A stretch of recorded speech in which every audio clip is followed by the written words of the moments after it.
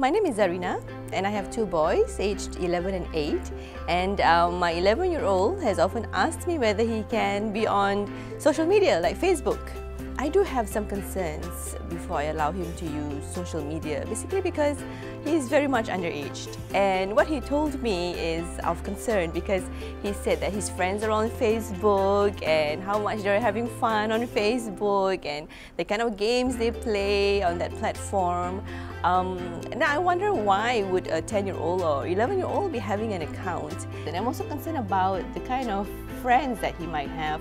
Uh, his friend's friend is still a stranger, but to them, you know, because they just want to have a long list of friends, to them that it is um, of very little implication. But as, as, an, as an adult, you know that you know it could the effects could be far-reaching.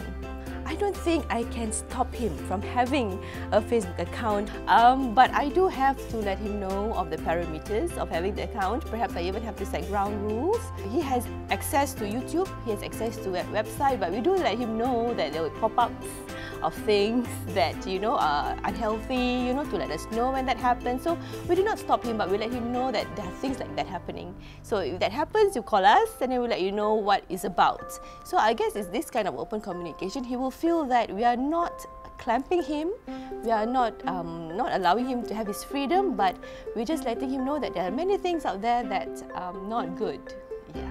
I think parents have to be askable. Um, I try to keep a very open communication line with my with my sons. And as parents, we also have to make sure that we are not dictatorial or authoritarian in a way. And at a certain age, um, they will not take no as the answer anymore. You know, you have to let them know uh, why you're doing certain things. And I would rather my sons do something that I'm aware of, despite all the dangers, instead of doing things behind my back.